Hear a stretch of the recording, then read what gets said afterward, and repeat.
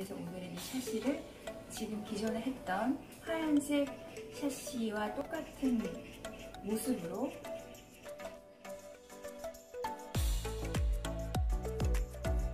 일차적으로는 청소 작업을 먼저 다 해야 돼요. 이런 걸 전부 다 떼어내고 이 부분 부분을 미끄럽지 않게 잘 씻어내주고 퐁퐁이나 이런 거 가지고 살살살 씻어내주고 저처럼 방아로에서 뭔가 많이 부착해놓은 경우에는 이쪽 면에 뭔가 접착제로 끈적거리는 것들이 묻어있을 수가 있습니다. 그럼 페인팅이 잘 안 되거든요. 그럴 경우에는 저처럼 접착제 스티커 이거를 좀, 어, 발라서 칙칙칙 뿌리는 분사형입니다. 그런 후에 2, 3분 지나면 여기에 약간 어, 물기가 촉촉하게 젖어 있어요. 그러면 그때 이런 도구를 통해서 긁어줍니다. 싹싹싹 긁어주면 접착돼 있던 뭐 찌꺼기들 같은 게 일어나거든요. 이쪽도 긁어줍니다. 자 이렇게 다 긁어준 이후에는 물티슈 같은 거나 천으로 싹싹싹 문질러주면 이 부분 다 떼내셔야 됩니다. 그래야 깔끔하게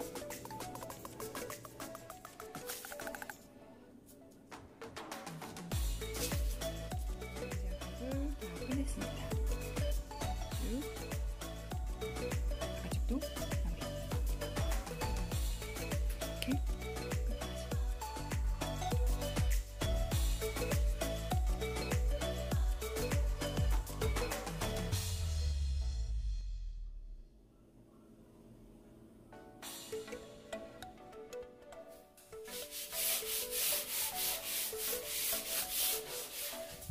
1시간 정도가 지났고요. 이제 저는 페인트 칠을 들어갈 건데 페인트 칠도 종류가 많이 있는데요. 이렇게 일반 벽지에 바르는 페인트가 있고요.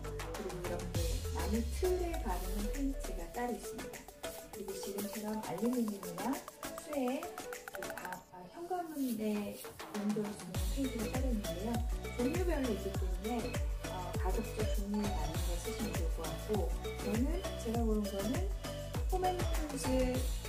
그 프레시 듀엘 어, 현관문용 페인트인데요. 이 현관문용이기 때문에 알루미늄 페인트가 있거든요. 보이시나요? 이런 느낌? 페인트 칠할 때 도구도 이렇게 다양하게 있습니다. 이렇게 넓은 면을 칠할 때 롤러를 쓰기도 하고 이렇게 붓도 사이즈별로 있어서 본인한테 맞게 그리고 칠하는 곳에 폼의 사이즈에 맞는 헤드도요. 헤드 사이즈가 되게 작은데 이거는 이렇게 이렇게 바르는 거라서 굉장히 편하게 가볍게 어, 손목에 별 무리를 가지 않습니다.